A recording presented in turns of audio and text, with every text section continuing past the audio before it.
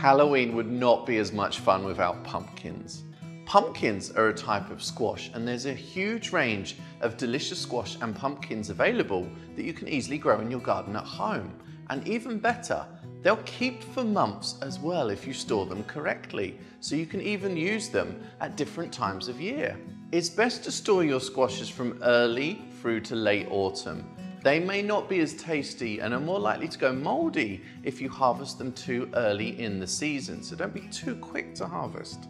Tapping the main body of the pumpkin and listening for a hollow sound is a good way of checking if they're ripe.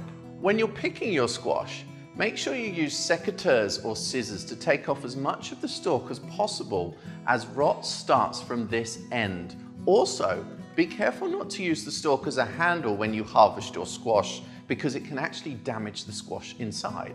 Once you've picked your squash or pumpkin, put them outdoors in a warm, sunny spot for around a week up to 10 days.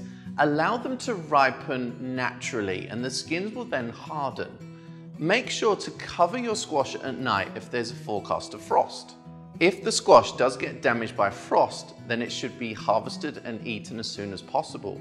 Another option to keep squash spread out in a greenhouse, polytunnel or cold frame, they're then protected from frost and wet weather and they'll ripen naturally as well. Once they're ripened, store them in a well ventilated place, temperature of around 10 to 15 Celsius. That's kind of like a garage or an outhouse.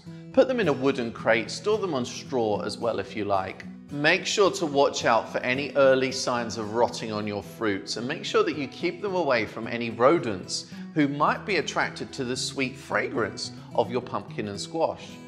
Now, depending on the type of squash and the storage conditions, you should then be able to enjoy these wonderful tasty fruits for up to six months.